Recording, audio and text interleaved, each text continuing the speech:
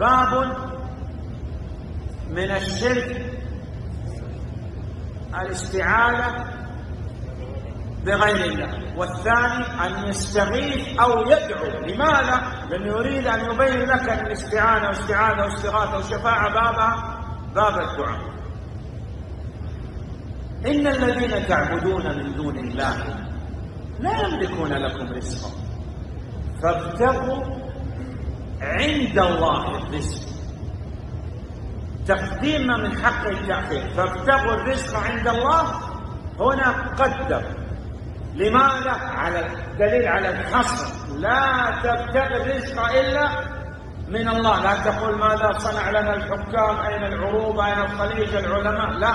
إن الذين تعبدون من دون الله لا يملكون لكم رزقا. فابتغوا عند الله لا عند غيره الرزق ثم قال سبحانه وتعالى واعبدوا لماذا؟ لماذا جاء بالعبادة بعد الرزق؟ لأن العبادة سبب لفتح باب الرزق. ومن يتق الله يجعل له مخرجا ويرزقه من حيث لا يحتسب فقلت استغفروا ربكم إنه كان غفارا. يرسل السماء عليكم مدرارا ويمددكم بأموال وبنين ويجعل ما شاء الله. خيرات. صح. تمام. واعبدوه واشكروا له.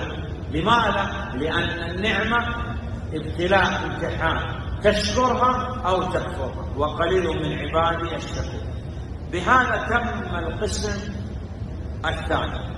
نعم.